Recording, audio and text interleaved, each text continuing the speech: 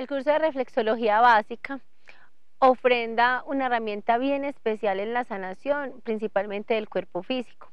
En este curso de reflexología aprendemos a sanar cada órgano, cada parte del cuerpo y entender cómo se relaciona cada parte de ese cuerpo con un proceso espiritual.